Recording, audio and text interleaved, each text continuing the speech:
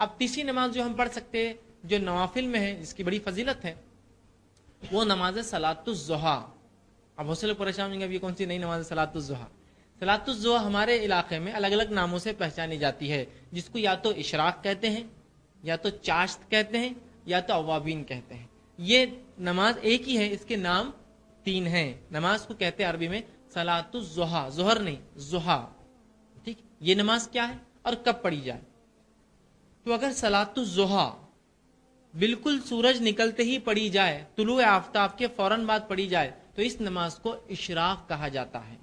सलातुजहा को सूरज निकलते ही अगर पढ़ा जाए फ़ौरन, इसको कहते हैं इशराक। तो मस्जिदों में लिखा होता है इशराक का वक्त। और इशराक का वक्त याद रखिए, फजर के बाद से इशराक के वक्त तो कोई नमाज़ हो भी नहीं सकती, कि तो वो 20 मिनट तुलु आफ्ताब के होते हैं। तो छह बजे अगर तुलु आफ्ताब है तो छह बाईस को इशराक शुरू होती है। या 20 मिनट का आप कम अज कम फ़र्क ले ले हमारे इलाकों के एतबार से। तो सलातुजहा को अगर आप अव्वल वक्त में पढ़े सबसे तो ये कहलाती है इशराक। इसकी तादाद रकातें याद रखिए, दो से लेकर आठ तक है। आप इसको मुकम्मल आठ रकात तक पढ़ सकते हैं, याद रखिए। रसुल्लाह ने इससे ज़्यादा नहीं पढ़ी, सलातुजहा।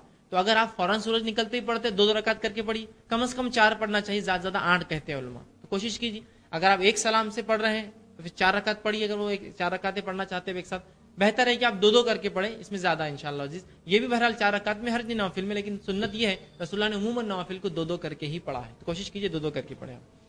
तो चार रकात ये ज़्यादा आठ पढ़िए। तो फ़ौरन सूरज निकलते पड़े तो ये नमाज़ कहलाती इशराक। सूरज निकलने के थोड़ी देर बाद अगर अगर आप पढ़े तो उसको कहते हैं चाश्त। ठीक? और सूरज इतना ऊपर आ जाए, इतना ऊपर आ जाए कि ज़मीन गर्म हो जाए, तपिश शुरू हो जाए तो उस वक्त जो पढ़ी जाती है, उसको कहते हैं अवाबीन ठीक?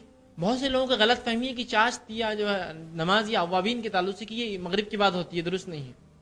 ये फजर के बाद ही है, याद रखिए। जोहर से पहले। और ये नमाज़ आपको जवाल से पहले पढ़ना है।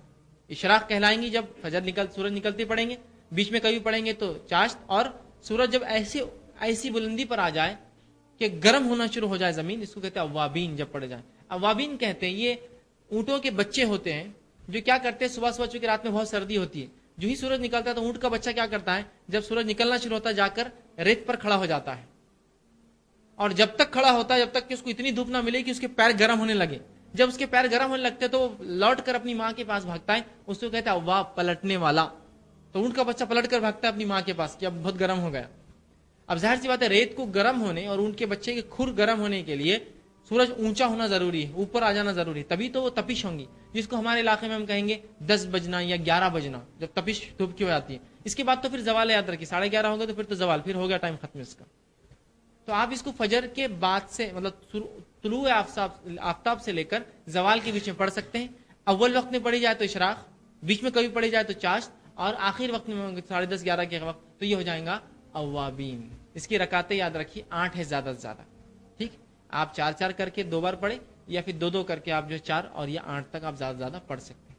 तो ये रहा तीसरी नफिल नमाज़, जिसका हम एहतमाम कर सकते हैं। और तीनों एक में आगे भरल चाश तवाबीन और जो है